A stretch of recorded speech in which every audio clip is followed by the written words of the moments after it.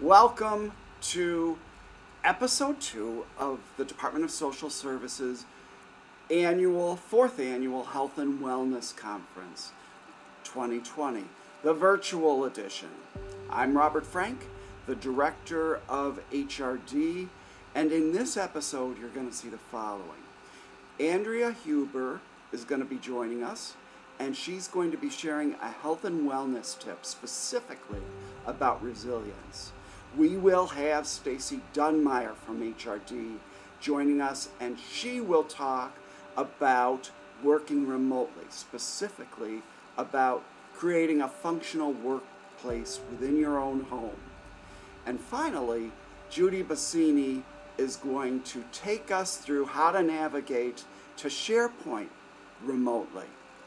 Now, I said episode two uh, because episode one really just launched uh, as we're wrapping up uh, putting together episode two. So, first, I want to thank everybody who gave us the, the great feedback about episode one.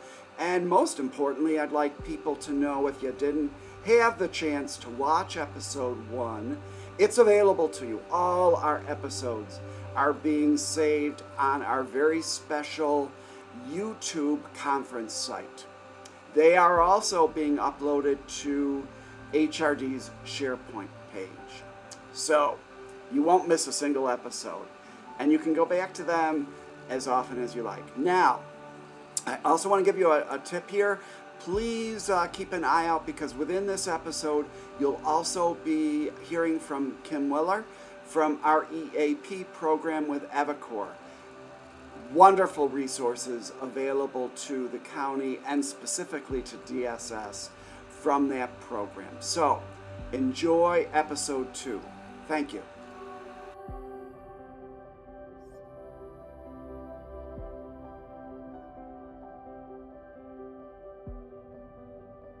Hello everyone. I am so grateful that I'm able to speak to you today about resilience.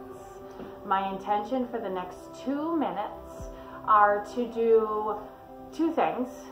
Explain what a resilient person looks like and to list some skills of resilience.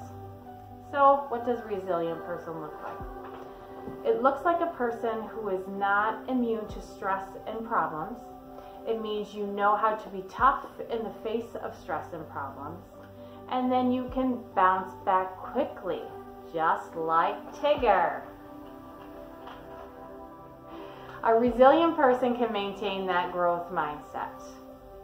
Now, let's say, for instance, we are all makers of rockets. Our rocket crashed, but we're not stuck there we maintain that growth mindset. We can eventually figure this out, how to get this rocket to go and do what we need it to do. So we keep building our rocket. And our rocket crash again. We feel pain, we feel frustration, but we don't let us stop that from learning what we can from this crash. We build another rocket and we launch again. We stay objective about what's happening. We don't invent stories about why the rocket crashed we gather evidence, we ask lots of whys, and to try to figure out what actually happened. So we are also zoomed out. We know that in order to eventually land a rocket, we're going to have to crash a few. Crashing is part of the process, and one failure does not mean the end of any rocket that we ever want to build again. Now, something to remember when we zoom out too, if we zoom out too far, we could begin to say, you know, nothing really matters, all my processes are pointless, and we lose meaning. We don't want to zoom out too far, we want to zoom out far enough so that uh, we can keep um, objective as to what happened. Now, remember a little note about resilience. This doesn't mean that resilient people enjoy failure. They just know how to learn from it. I'm going to quickly go over some five skills of resilience, things that you can do to help learn this behavior of being resilient. Number one, writing down positive outcomes from a particularly bad situation. It will allow you to stop ruminating and begin to see the silver lining. Don't try to talk yourself out of fear. So, what you want to do is chip away at that fear You want to celebrate your little accomplishments out of um, learning how to get closer and closer to conquering that fear. Don't judge yourself, have self compassion. Now, confronting yourself in times of suffering, you want to do that as though you're talking to your best friend, your sister. Number four, practice mindfulness. When negative thoughts creep into your mind, that means that the positive ones are seeping out. There are many ways to focus your bodies, something that I talked about as far as progressive uh, relaxation in episode one. Now, lastly, it's tricky, so we're going to try to let go of grudges. How? Well, you can acknowledge what's happened, including how does it feel? How does it affect your life right now? Then you make a commitment to forgive, which means letting go of resentment and ill will. But it doesn't mean that you're letting any offender off the hook or to reconcile with them. I really appreciate your time. I appreciate you listening to me, and I hope that you will take this and uh, have it be useful. And as always, thank you for spending your time with me and again with Tigger. Have a good day. Evicore EAP is a free confidential benefit provided to you and your dependent family members. The purpose of this benefit is to provide you a menu of resources to assist you with reducing, resolving, or receiving a referral for any situation you may be experiencing. In addition, we also have a broad network of master's level licensed and credentialed EAP providers. Questions about the program or would like to speak to an EAP counselor, please call us at area code 716 712 2777, or you can reach us toll free at 1 888 276 6632.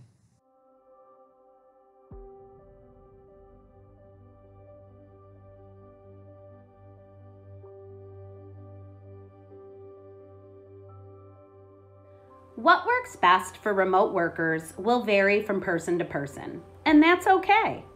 The most important thing to remember is to find what helps you stay focused while keeping your work separate from your home life. Establish a workplace that is separate from the rest of the home. It should be an area that mentally prepares you for work mode. Locate the work from home spot where you will be the most productive. It doesn't have to be a dedicated office with a door that closes, which is often not an option in smaller living spaces. Ideally, you'll want to select a spot that's both away from potential distractions like the TV or the refrigerator, and that receives good natural light. This could be a separate room, a small desk set up in a corner of the living room, or a laptop at the end of the kitchen table. Select a place that other members of your household know is designated for work. Make it as ergonomic as possible. If you can, find a chair in your home that's comfortable and also provides some back support. You could also use a pillow or draped blanket to help with the comfy factor. Make sure your workspace is located near a power outlet so you can plug in everything you'll need at the same time. You will also want to set up sufficient lighting in your workspace, maybe a sunny spot near the window. And if you need more lighting, you could borrow a lamp from another area of the house. Adding a little personality to your workspace will make it a more satisfying spot. Bringing over a plant from another room or moving a favorite picture could make all the difference.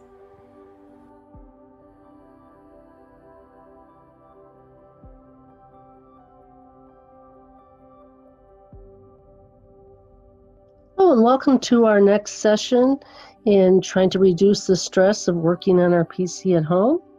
And today's session is going to be um, showing you how to access online trainings. And there is a pre-developed file out there that really walks you through reaching all the different sources that we have for training, or at least most of them. We have HSLC, Training Space, Skillport, and others. Um, and we're going to start out by, of course, I'm in VMware because I'm working remotely, and I'm going to get into SharePoint because that's where we have it stored. It's in SharePoint in the HRD area.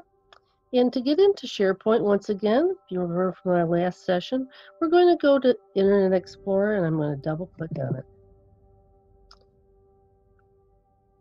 takes a few seconds to come in. And you should see a screen that looks similar to what I have here.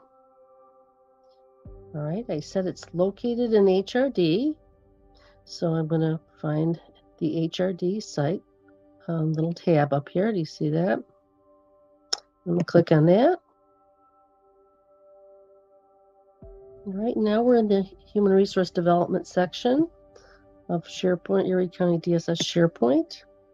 And I can scroll through. I know we've talked about the uh, Health and Wellness Conference site there that we can go to, but today we're going to go down to the bottom here where it says Training Resources. And I'm going to double click. When I'm in the Training Resources section, you'll see Training Resources, of course. And in here, the one we're looking at to go over today is how to access the training systems. I'm going to double click on that.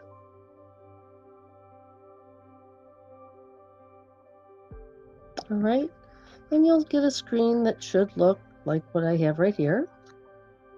I find using the down arrows to be most helpful as they walk me through a little slower and that way it doesn't blur up because it's trying to pull it in. So I can go, this is what's going to be found in this section. We have HSLC logging in, locating. We have training space using Centraport to access training space. Uh, Skillport, logging into Skillport. All right, and on page two, we start with HSLC, just like it says in the table of contents. There are some hot links in here that you can use. You should be able to just double click on those hot links. All right, and we're just going to go down a little bit further and see what else we have here. Shows us how to log in. And Brandy Anabzak's got her showing us how to log in. All right, locating your trainings on HSLC. Your current registration page. And again, I'm not going to take a lot of time at this because you really should go in and look at it yourself. Just going to show you where it's located and what's on it. Checking your training history, that's another big one a lot of people like to look at.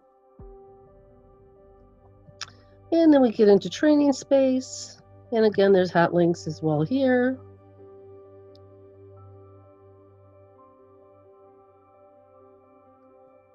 Really is handy to have up if you're doing some trainings on a particular day. I leave it right up on my uh, desktop. All right, log in using your 14 number, of course, for training space. And click on the Centraport application. It walks you through that, tells you what you're going to see. All right, and it walks you through where you should find it on Centraport. And the last one we're going to look at is going to be Skillport.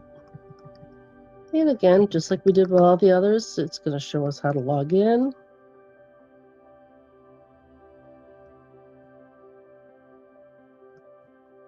Accessing mandated trainings, which I see I've got a couple of I have to do, so I think probably everybody else does too.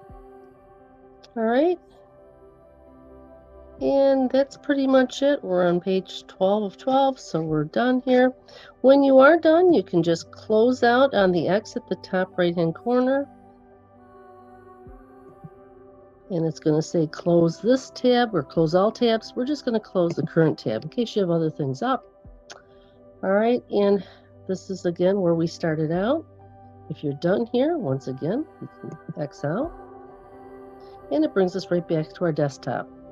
Look forward to seeing you next week. Stay safe.